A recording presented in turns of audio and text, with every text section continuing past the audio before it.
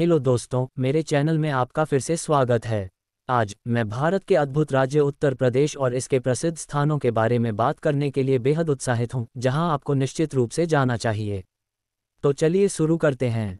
सबसे पहले, हमारे पास आगरा में स्थित प्रतिष्ठित ताजमहल है। इस शानदार सफ़ेद संगमरमर के मकबरे का निर्माण सम्राट शाहजहां ने अपनी प्रिय पत्नी मुमताज़ महल की याद में करवाया था। यह यूनेस्को की विश्व धरोहर स्थल है और दुनिया के नए सात आश्चर्यों में से एक माना जाता है। जटिल वास्तुकला और इसके पीछे की प्रेम कहानी ताजमहल को एक अवश्य देखने योग्य स्थान बनाती है। हमारी सूची में अगला स्थान वाराणसी का है, जिसे काशी या बनारस के नाम से भी जाना जाता है।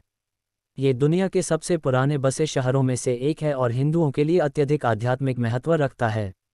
पवित्र गंगा नदी के किनारे के घाट देखने लायक होते हैं, खासकर शाम की आरती समारोह के दौरान।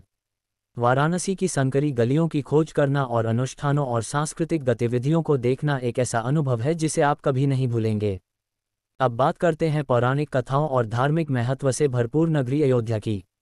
ये भगवान राम का जन्मस्थान माना जाता है और हर साल लाखों भक्तों को आकर्षित करता है। हाल ही में निर्मित राम मंदिर कई लोगों के लिए आस्था का प्रतीक है और हिंदू धर्म में शहर के महत्व का प्रमाण है। अंतिम लेकिन महत्वपूर्ण बात हमारे पास इलाहाबाद है, जिसे अब प्रयागराज के नाम से जाना जाता है। ये शहर दुनिया के सबसे बड़े धार्मिक आयोजन कुंभ मेले की मेजबानी के लिए प्रसिद्ध है, जो हर बारह साल में होता है। तीन पवित्र नदियों, गंगा, यमुना और सरस्वती का संगम इस स्थान की आध्यात्मिक आभा को बढ़ाता है। ये उत्तर प्रदेश के आश्चर्यों की कुछ झलकियाँ हैं।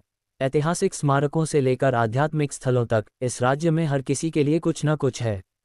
इसलिए, अपनी यात्रा सूची में उत्तर प्रदेश को शामिल करना सुनिश्चित करें और इसकी सुंदरता और विविधता का पता लगाएँ।